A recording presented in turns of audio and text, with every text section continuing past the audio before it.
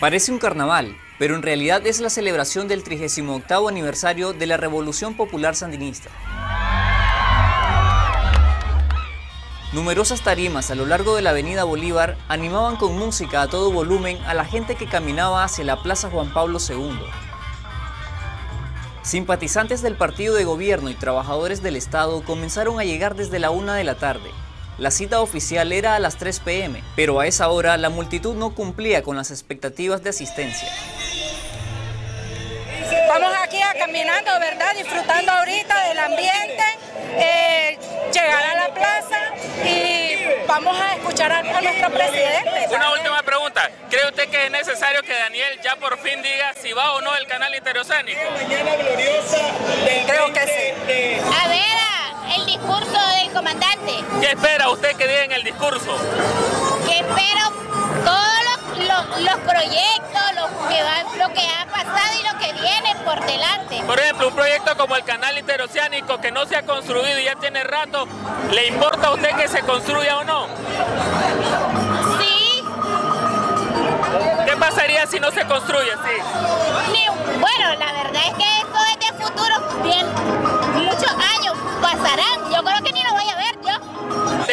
que se haga o no se haga? La verdad, la verdad que si hay muchos que se oponen en eso, pues ellos sabrán, cada quien tiene sus su, dificultades, ¿verdad? Pero a mí no me molesta en, nada, si lo hacen o no lo hacen, pues si lo hacen dicen que es un bien para el país. El cobro de programas sociales que antes eran gratuitos como el Plan Techo y Hambre Cero no parece molestar a nadie. Está bien, está bien, no, bueno, el Plan Techo siempre lo ha dado, el gobierno, muy bueno lo que hace el gobierno por dar el Plan Techo. Bueno, antes no lo cobraban, no sé por qué ahora cobran, pero es un precio simbólico porque mil pesos no valen todas las 10 láminas. Ortega no mencionó estos cambios, y tampoco habló del proyecto del canal interoceánico.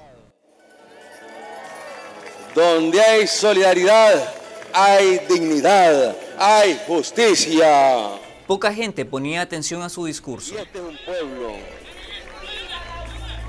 Esto nos da la seguridad y la alegría.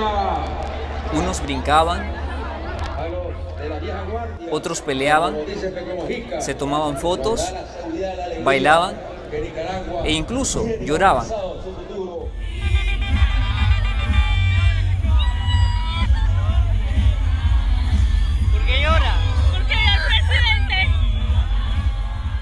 Al menos hasta que la lluvia interrumpió la actividad. Apenas 17 minutos después de empezar a hablar, Ortega dio por terminado el acto. Está lloviendo. Bendita la lluvia y gracias a Dios, gracias a Dios Gracias a Dios que nos manda la lluvia y gracias a Dios que nos permite reunirnos en este día para celebrar.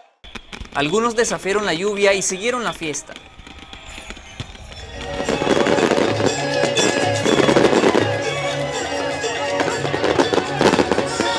Otros se marcharon contentos con el breve discurso. Fue formidable y bien pues porque realmente está diciendo lo que es la verdad, para que lo escuche el imperialismo. ¿Qué te pareció el discurso está diciendo vamos para el futuro y es un progreso que lo que él está hablando. ¿Qué fue lo que más te gustó? La verdad y lo sincero que él es de corazón. Sí, pero él promete las cosas a la gente y le cumple. Bien, pero no ha, no ha cumplido todavía lo del canal interoceánico. No, es que eso ahorita está en tratado, dice. O sea, estuvo muy bonito y estuvo muy grandioso. ¿Qué fue lo que más le gustó?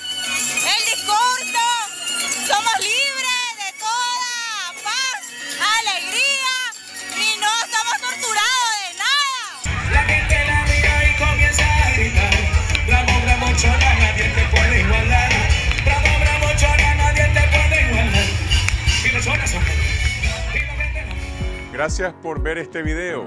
Síganos en Facebook y Twitter a lo largo de la semana y los invitamos a suscribirse a este canal para recibir todos los reportajes y entrevistas de esta semana, esta noche y confidencial.